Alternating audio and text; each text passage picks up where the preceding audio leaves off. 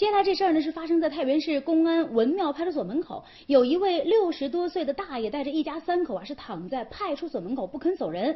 而这位大爷记者可不陌生啊，早在二十多年前他就在我们的节目当中出现过。当时他遇到的事儿呢也是在节目当中引起了探讨。那么这位大姐是大爷是谁？现在又是怎么了？要来派出所门口闹腾呢？一起来详细了解一下。咱们去那边说去好不好？不行，啊，就在这先起来，你先起来说嘛。你这天都话不找个地方说，找个地方说，好不好？啊！这一幕是发生在十月十九号上午十一点，在太原公安文庙派出所门口。这位大爷竟然躺在地上不起来，那这大爷是怎么了？啊，你起来！你躺这你是要干嘛的？你躺着解决不了事情，我不能。大爷姓贺，今年六十七岁了。趴在大爷旁边的是他的老爸。那这老两口这是遇到什么事情了？为啥要打我？两个人吵架，要为啥能吵起来了？为啥下来吵架？为啥要拿的？师傅，你听我说一句好吧？吵架不要跟拿凶器打了。你听我说。情绪激动的大爷一直这样说，担心大爷出意外，大伙也叫来了幺二零急救人员。幺二零，好吧？有钱了，有了，不是我打的。那个过来谁打的？你看一看急救需要急救才叫过来的，你就说需不需要急救的？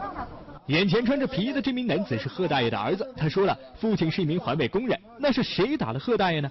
贺大爷的儿子说，父亲被打的事那是发生在二十多天前。哎，你们你们那不要在马路上好不好？头也有你？我头让我手麻都不行的。你是哪儿受伤了？你是哪儿受伤了？他打个那脑袋了。脑袋。哦。你现在能起来不？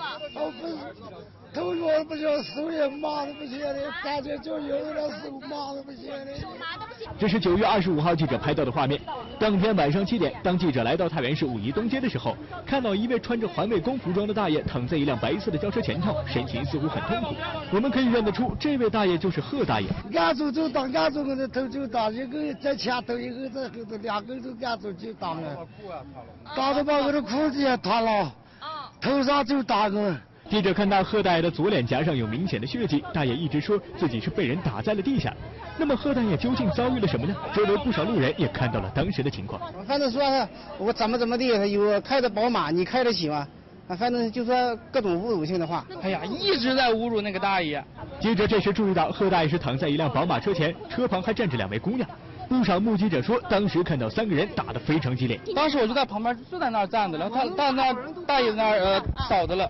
后来呢，那那女的两个女的，一开始那个女的在这个理发呃美容院了，然后出来之后是打的时候是两个女的先动手打的，先是一个女的打的，后来那个女的跑出来打的那个男的一起。然后打的挺凶的，然后全程都是辱骂呀，什么推搡呀，什么都挺凶的。他们都说是车主骂，然后我来的时候也在骂，也在打。那个女的打了大爷，大爷拿那个他不是拿那个扫把，然后。打了他一下，然后后来跑出来一个女的，就两个人一起打那个大爷，就是本身就是语言性的攻击、侮辱。你说谁都有人格了，要是我是气愤不过了，我都上去揍他。很多目击者说起当时的情况都非常的气愤，大家看到的都是两个女孩和环卫工大爷扭打在了一起，把大爷的裤子都打掉了，甚至有人看到两个女孩拿出了一个东西。一开始这个车主下来，他们说的是拿狗链子打的，不是光看见打了，就是说他们在那儿一直是。老大爷在那儿站着，他拿一个狗链子一样个东西在那老大爷那个脸上一直甩，老大爷一直就是在那儿站着也没还手，哎，对，站着了。那那两个人就是说打那老头了嘛，就打的可厉害了。拿什么打？你看到没？嗯，拿那个就是那个狗的那个链子嘛，就拴狗狗的那种链子打的。是的，是的。呃，你看到这个大爷打他们俩有没有还手？这个根本就没有机会还吗？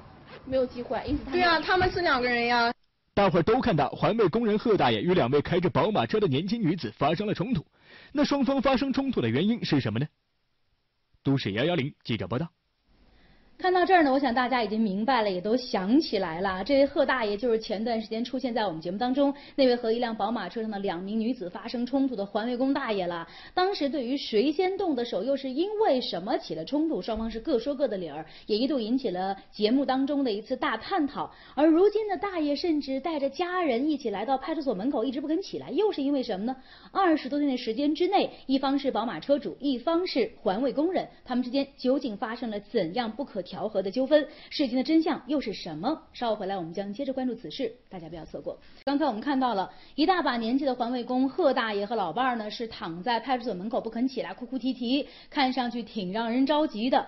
而这位贺大爷大家并不陌生，早在二十多年前呢，因为扫马路的事儿，他和两名年轻女子在大马路上呢发生了冲突，甚至动了手。那么当时这样停在路中的宝马车到底是怎么回事？为何会引发他们之间的纠纷？事情最终是一个怎样的处理结果？如今贺大爷和家人躺在派出所的举动，又和这次纠纷的协商调解有关吗？我们接着往下看。